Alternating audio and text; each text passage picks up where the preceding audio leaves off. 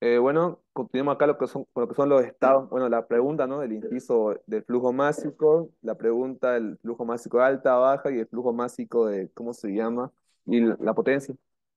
Entonces, ¿qué es lo que hago acá? Ya tengo todos los estados termodinámicos. A partir de acá ya es mecánico. Cuando digo mecánico es más sencillo, ¿no? ¿Por qué? Voy a hacer lo que acá la primera ley, acá dentro del evaporador. Primer paso. Calculemos esa primera ley. Así que acá voy a colocarle la primera ley. Primera ley en el evaporador, ¿no? Esto acá voy a copiar. Ya lo hay. Entonces, pongamos acá primera ley del SAF dentro del evaporador, ¿no? A la de acá, ¿qué es lo que digo? Siempre que sea el evaporador no produce trabajo potencia. Esto se desprecia, no hay potencia. Como en un ciclo nunca hay velocidad, energía cinética siempre se desprecia. En un ciclo nunca hay altura, energía potencial siempre se desprecia. ¿Qué me queda acá? Que el flujo calórico es igual al flujo másico por el cambio de entalpía. Sería claro que es entalpía de salida menos entalpía de entrada. Entalpía 7 menos entalpía 6, ¿no? Ponemos acá entalpía 7 menos entalpía número 6. Con eso, ¿qué es lo que hago después? Eh, acá lo que hago solamente es despejar el flujo másico. Porque tengo acá lo que es el tema del flujo calórico del evaporador, que es menos 30, perdón, que es 30 kilowatts. Entonces acá despejo este flujo másico, que sería lo que es el flujo másico de la parte baja. Por lo tanto, acá decimos, a ver, el flujo másico del compresor de baja es igual a lo siguiente. Esto acá, de color negro, esto que está multiplicando pasa a dividir. Acá este flujo acá va a continuar. ahí. Arriba queda lo que es este flujo másico. Y abajo lo que es el cambio de la entalpía. Estoy acá en la división. ¿no? Ya, ya. Entonces acá tenemos eso. Y acá con esto este, reemplazamos. Reemplazamos todos los datos. Así que acá decimos lo siguiente, reemplazando los datos, tendría lo que es el flujo calórico. ¿Cuánto vale? 30 kilowatts, que es igual a 30 kilojoules de cada segundo, ¿no? Así que acá pongo lo que es 30 kilojoules sobre cada segundo, que es igual a kilowatts. Entalpía 7 menos 6, el cambio de entalpía. Entalpía 7, que es igual a 225,86. Pongo acá 200. Eso hacia acá. Ya. Menos entalpía 6. ¿Cuánto entalpía 6? Entalpía 6 tiene un valor de, a ver, 38,55, ¿no? Así que si esto acá lo ponemos hacia acá, y ahora hacemos lo que es el despeje, bueno, simplificar las, las unidades, ¿no? Así que acá, ¿qué tengo? Acá tengo lo que es la unidad kilojoules de cada kilogramo. ¿Qué se va acá? Se va lo que son kilojoules con kilojoules, me queda lo que son kilogramos sobre cada segundo. Esto acá desaparece, esto acá desaparece, y me queda el flujo másico del compresor de baja, ¿no? Bueno, halo ahí, y esto acá, ¿cuánto le sale? ¿Se lo pueden sacar? Rápidos. Ya, yo creo que es 30 sobre 225, ya, sobre 225,86 menos 38,55. La respuesta acá es 0,16016. 0,16016. La unidad kilogramos sobre cada segundo. Y la respuesta del flujo másico del compresor de baja, ¿no? Por lo tanto, acá, ¿dónde está el cuadradito? acá. Esto acá lo ponemos en la parte de acá. Este, el cuadradito acá, flujo másico del compresor de baja. ¿Cómo encuentro acá el flujo másico del compresor de alta? La gran pregunta, la gran duda. Debo aplicar acá la primera ley en dónde? Justamente acá en el separador, ¿no? Pero hasta acá, ¿alguna duda que tengan? antes de aplicar lo que es la primera ley de separador. Ya, entonces continuemos. Digo acá la primera ley del SAF dentro del separador. Separador. Y bueno, acá está la gran, no es duda, pero sino acá está lo, lo que más o menos chipa, ¿no? El separador acá, ¿qué es lo que tiene acá? Tiene lo que son una salida, bueno, dos salidas, porque sale por arriba, sale por abajo, y tiene que son dos entradas. Entra por acá y entra por acá. O sea que tiene varias entradas y varias salidas. La fórmula ya no es la misma de, de hace rato, ¿no? Ocupamos otra fórmula, ya no esta fórmula acá, sino ocupamos la fórmula, la siguiente, ¿no? Acá decimos lo siguiente, el flujo calórico menos la potencia, que es igual a la sumatoria del flujo másico de salida, ¿no? Por lo tanto, acá digo lo siguiente, buscamos acá lo que es la sumatoria, acá sumatoria y flujo másico de salida. Entonces acá, esto ahí y salida. Esto es igual a lo siguiente, a la entalpía de salida, sería acá entalpía de salida, más energía cinética de salida y energía potencial de salida. Energía cinética más energía potencial. Energía potencial menos la sumatoria en la entrada, ¿no? Ahora todo esto acá, hagámoslo hacia, hacia acá abajo, menos la entrada, la sumatoria del flujo másico de entrada por la entalpía y demás. Entonces acá, ponemos esto acá, decimos acá lo que es como da salida, acá es lo que es entrada. Y acá es entrada, y bueno, acá me, faltó, era la energía cinética de salida y energía potencial de salida. Energía cinética de entrada, energía potencial de entrada. Y acá vamos simplificando. ¿Qué simplificamos acá? Las unidades, lo que no hay. Como sé que el separador es adiabático, porque siempre trabaja de forma adiabática el separador, acá no hay lo que es flujo calórico. Esto acá desaparece. También lo que es la potencia. Potencia no hay en lo que es separadores, solamente hay en lo que es el tema de bombas, compresores y turbinas, ¿no? Y como siempre, no hay energía cinética, tampoco hay energía potencial, ¿no? Esto se desprecia, esto se desprecia, esto se desprecia y esto acá se desprecia. Muy bien, entonces todo esto acá, copiémoslo y hagámoslo más bueno, esto sí acá. Ya. Y esto, vale. ¿Qué me queda acá? Sumatoria, el flujo másico que sale por entalpía que sale. Acá digo lo que es sumatoria, el flujo másico que sale por entalpía que sale. Explicado por la entalpía que sale.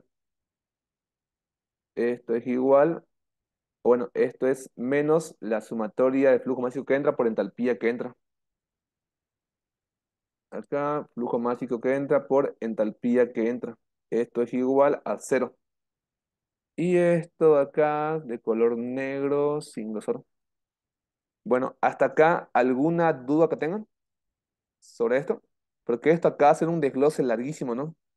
Que vamos a desglosar, pero van a ver que es sencillo, no es muy complicado. Tranqui todos, bye. Ya.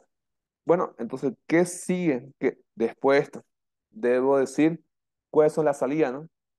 Para que se vea mejor, voy a poner esta figura ahí. A ver, a lo ahí, más Ya. Esto acá, copiémoslo y lo ponemos acá para que se entienda mejor, ¿no?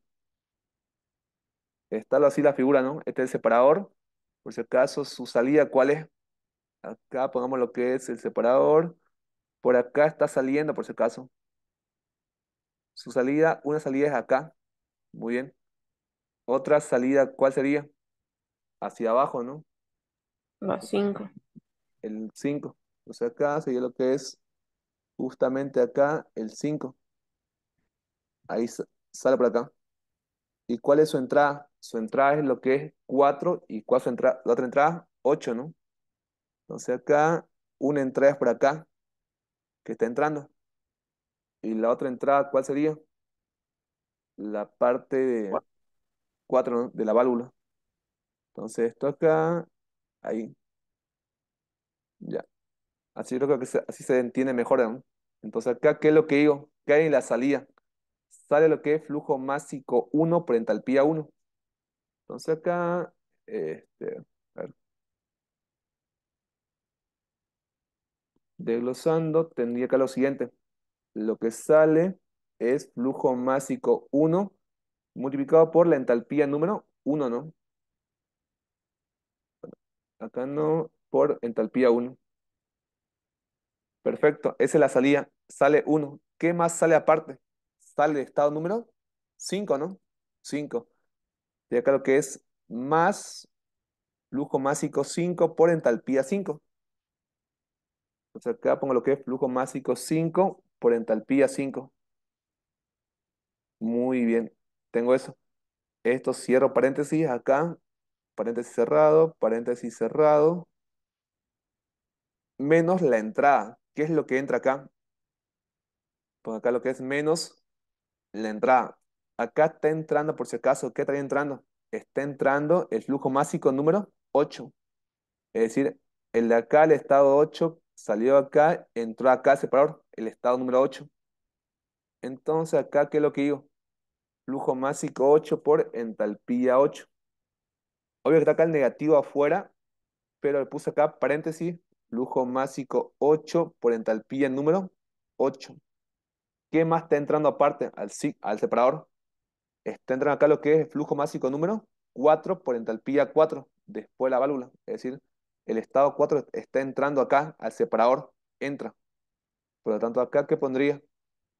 Acá pondría lo que es el flujo, flujo másico 4 por entalpía 4. Esto, cierro paréntesis, es igual a cuánto? A 0. Ya. ¿Hasta acá alguna duda que tengan sobre esto? Entonces empecemos a hacer un poco más este, didácticos. Bueno, ponerle más complejidad. El flujo másico de, del compresor de baja, es decir, el flujo másico 5 es igual al flujo másico 6, es igual al 7, es igual al 8. Y esto llega acá y de acá sale de vuelta. 5, 6, 7, 8 son el mismo flujo másico, que es el flujo másico del cual? Del compresor de baja, ¿no? Así que acá pongamos eso digamos acá lo siguiente, flujo másico 5 es igual al flujo másico 6, 7, 8. Es igual al flujo másico 6, que es igual al flujo másico 7, que es igual al flujo másico 8, que es igual al flujo másico del compresor de baja, ¿no? Que es igual a eso. Por un balance de masa, ¿no? Si aplicamos acá. Acá, bueno, esto no. Aplicando lo que es un balance de masa o la ecuación de continuidad. Balance de masa. Sabemos que todo eso se repita, ¿no? Muy bien, esto pongámoslo acá. Entonces esto acá de color azul. Bueno, esto sea rojo y esto de color azul. ¿Qué más aparte? El flujo másico número 1 que entra por acá es igual al flujo másico 2, que es igual al flujo másico 3, que es igual al flujo másico 4, que es igual al flujo másico de qué? Del compresor de alta, ¿no? Entonces acá hago lo mismo. Entonces acá digo lo siguiente. Flujo másico 1, 2, 3, 4 son lo mismo. Flujo másico 1 igual al flujo másico 2 igual al flujo másico 3 igual al flujo másico 4, igual al flujo másico del compresor de alta. Ya tengo eso. Entonces, ¿qué sigue ahora después?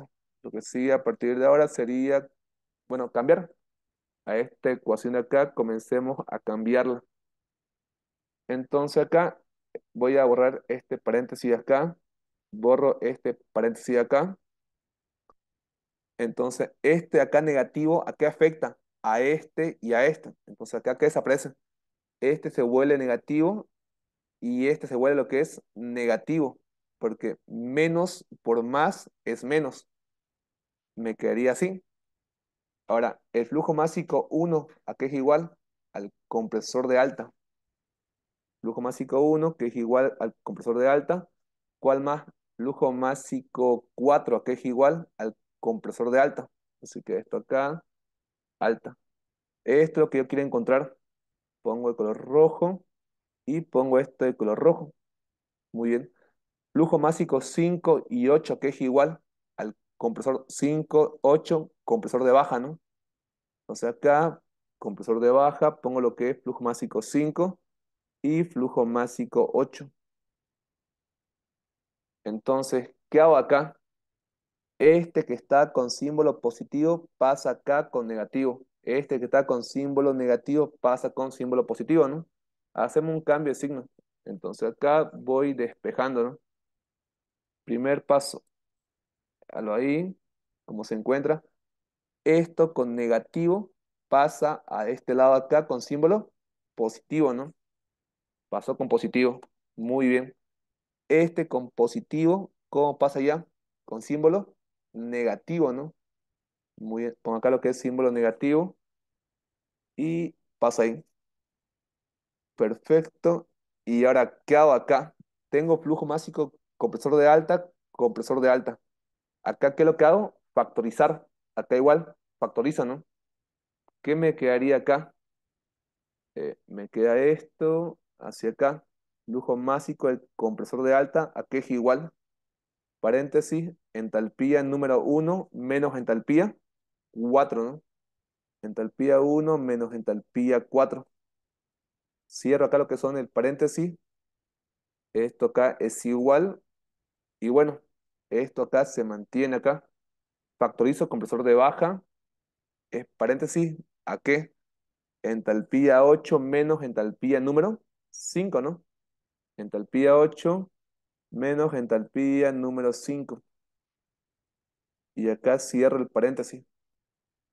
Ya. Entonces, esto que está acá multiplicando, ¿cómo pasaría a este lado acá? Pasa a dividir, ¿no? Bueno, va hasta ahí. Y sigamos con esto. Esto que está acá multiplicando pasa a dividir. Todo está acá, voy a copiarlo. Y lo paso acá a dividir. Me queda de esa forma. Y entonces, ¿qué es lo que ahora? Reemplazamos los datos. Reemplazamos acá los datos, digo lo siguiente.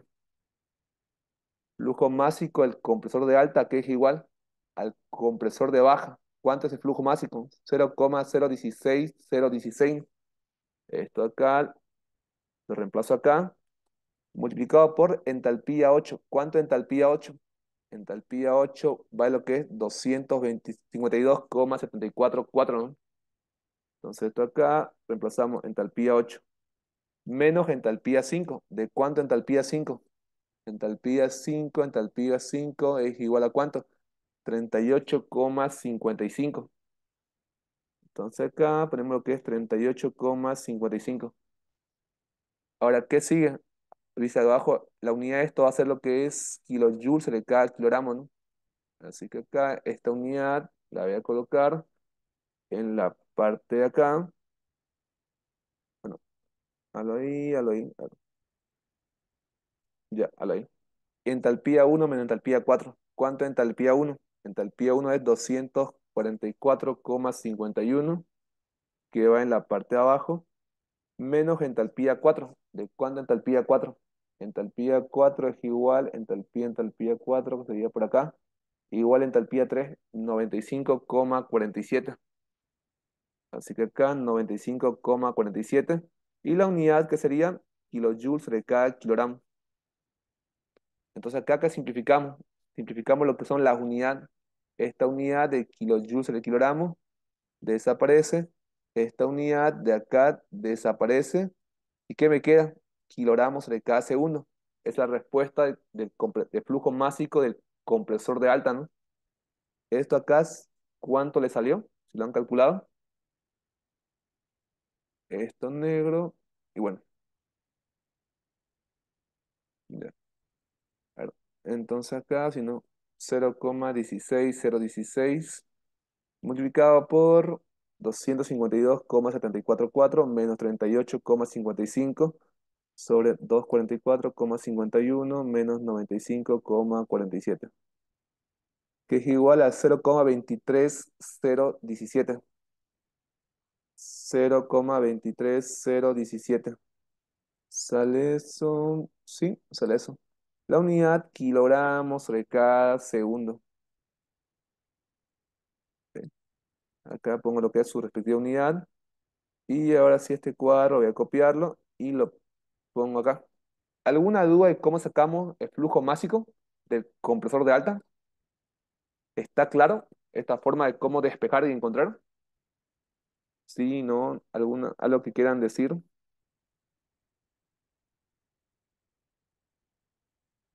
Ya.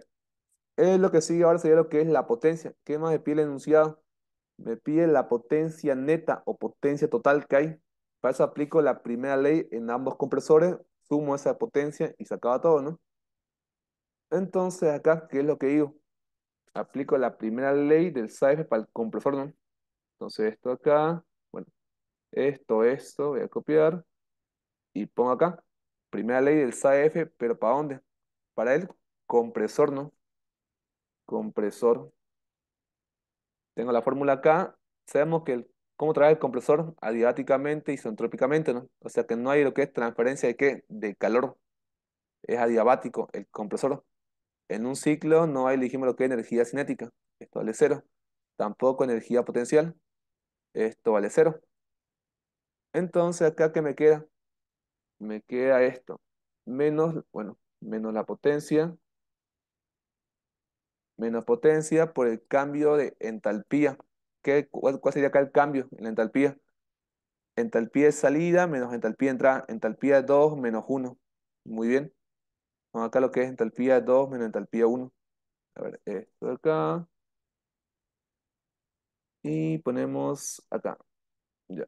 Esto que sea 18, que sea negro y no tenga grosor. Entalpía 2 menos entalpía 1. Cierro paréntesis. Y acá lo que hacemos es multiplicarlo por menos 1. Multiplicamos esto por menos 1. Esto va a ir acá. Este menos 1. Hagámoslo de rojo. Y desaparece acá. ¿Qué desaparece? Desaparece lo que es este negativo, desaparece. Y acá se vuelve lo que es positivo, ¿no? Entonces, acá, acá el negativo va a aparecer. O también podemos hacer lo que entra dentro. Dejémoslo acá afuera, ¿no? Para no hacerlo muy largo. Y no chiparnos más.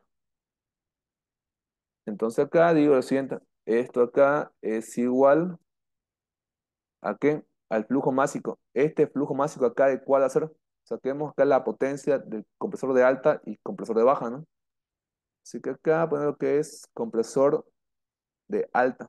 Primera ley dentro del compresor, compresor, y acá el flujo másico sería del compresor de alta. Por lo tanto, este flujo másico acá sería acá. Halo ahí. Y ahora sí reemplacemos las unidades. Reemplazando unidades, ¿qué me queda? Potencia del compresor de alta. Esto acá. Ya. Compresor de alta es igual al flujo másico. ¿De cuánto es flujo másico? Flujo másico del compresor de alta es igual a 0,23017 kilogramos sobre cada segundo. Por entalpía 2 menos 1. Entalpía 2, ¿cuánto vale? Entalpía 2 tiene un valor de 273,26 menos entalpía 1 menos entalpía 1. ¿De cuánto entalpía 1? Entalpía 1 tiene valor de entalpía 244,51. Y la unidad es kilojoules sobre cada kilogramo. Entonces acá decimos esto acá, simplificamos la respectiva unidad, que sería acá lo que es kilogramo, y acá sería lo que es kilojoules sobre cada kilogramo. Y se que son kilogramos. Esto acá, ¿cuánto sale si lo pueden sacar? Bueno, esto simplificado ahí. Y la potencia del compresor de alta es negativo, pero ¿cuánto es su valor? A ver. Calculadora, 0,23017 multiplicado por, paréntesis, 273,26 menos 244,51. 6,617. Menos 6,617 kilojoules o kilowatts. Kilojoules sobre segundo, kilowatt es lo mismo, ¿no? Ya sale eso. Y aplico lo que es ahora sí, ¿para dónde? Para el compresor de baja, ¿no? Así que esta fórmula acá, la misma, pero ¿qué va a cambiar acá? De que es la potencia con el flujo másico del compresor de baja. En, en la parte baja, ¿qué es lo que tengo? El cambio de entalpía. ¿Cómo sería acá el cambio de entalpía? El cambio de entalpía sería acá lo que es el compresor de baja, entalpía 8 menos 7. Ese es el cambio. Por lo tanto, acá digo lo siguiente. Entalpía 8 menos 7. 8 menos 7. Perfecto. Tengo eso ahí. Y ahora reemplazamos las unidades. Esto acá. Pongo acá lo que es compresor de baja. El flujo másico, ¿cuánto vale? Flujo másico del compresor de baja. Bueno, acá falta lo que es compresor de baja. Flujo másico del, del compresor de baja tiene un valor de 0,16016. Acá esto voy a reemplazar. Entalpía 8 menos 7. ¿Cuánto entalpía 8? Entalpía 8 tiene un valor de 252,744. Que esto voy a colocarlo justamente acá. Menos entalpía número 7. ¿De cuánto entalpía 7? Entalpía 7, 225,86. Así que esto acá, simplificamos la unidad. ¿Qué unidad? Kilogramo con kilogramo. Y me queda lo que son kilojoules por segundo o kilowatts, que es lo mismo, ¿no? Entonces, eso ahí, eso ahí, esto acá. Y pongo acá lo que es compresor de baja. Esto acá es negativo, pero ¿qué valor tiene? Agarré mi calculadora, digo lo siguiente. 0,16016. Está acá por si el negativo afuera, multiplicado por cuánto? Multiplicado por 252,744 menos 225,86 menos 4,35, ¿no? 35 kilowatts. ¿Y cómo se trata lo que es la potencia neta o potencia total? Es la suma de ambos compresores, compresor de alta como el de baja, ¿no? Por lo tanto, acá digo lo siguiente, potencia total es igual al compresor de alta por el compresor de baja, ¿no? Creo que es eso ahí más el compresor de baja. Y sumamos esto acá, pongamos el color rojo, que es la fórmula, y comenzamos la suma, ¿no? La suma de potencia, compresor de baja, de alta, ¿cuánto vale? Menos 6,617 kilowatts. Más, bueno, acá paréntesis menos, ¿cuánto? Compresor de baja, menos 4,37. Esto acá, ¿cuánto sale? Más por menos, menos sería menos 10, tanto, ¿no? O 11, perdón. Entonces acá digo lo siguiente. Acá menos, bueno, menos 6,617 más, paréntesis, menos, menos 4,35. La respuesta, ¿cuánto es? Menos 10,922. Menos 10,922. Y acá que sería la unidad kilowatts. Es la potencia neta o la potencia total. Que tendría esto acá y esto acá. ¿Hasta acá alguna duda que tengan sobre esto? Bueno, entonces sigamos. ¿Qué es lo que sigue? No me falta el coeficiente de operaciones. ¿Cómo hago este coeficiente? ¿Se acuerdan cuando que decíamos lo siguiente? Esto era igual acá al efecto refrigerante que sería el flujo calórico del evaporador sobre la potencia del compresor, ¿no? En este caso acá tengo dos compresores, compresor de alta y compresor de baja, ¿no? Yo no puedo por acá lo que es entalpía. ¿Por qué? Porque tengo ya varios, tengo dos compresores. O sea que acá no me, no me sirve eso. Pero lo que sí acá voy a ocupar sería lo siguiente. Así que acá digo lo que es la fórmula del COP o el coeficiente de operaciones o capacidad. Y acá, bueno, ya efecto refrigerante. Esto acá que es igual. El efecto refrigerante es igual al flujo calórico de qué? Del evaporador. Así que acá pongo lo que es flujo calórico del evaporador. Evaporador. Y potencia o trabajo. Acá lo que es la potencia total. Así que acá pongo lo que es potencia total. Esto acá. Lo ponemos abajo. Por este caso acá es valor absoluto, ¿no?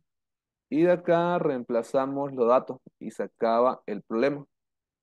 Coeficiente de operaciones o el COP. Esto acá, lo de color negro. El evaporador, ¿cuánto vale el flujo calórico? Es acá 30 kilowatts. Por lo tanto, acá digo 130 kilowatts. Potencia total, menos 10,922. Entonces acá, eso, su unidad es kilowatts. Y el COP es adimensional.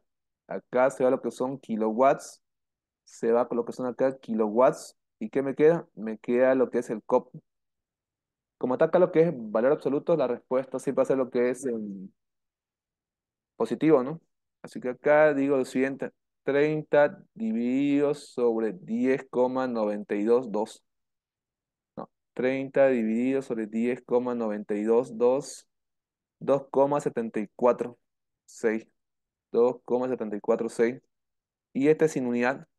Y con esto se acabó lo que es este problema, el ciclo del doble etapa. ¿Alguna duda, pregunta sobre esto? Entonces acá voy a parar la grabación.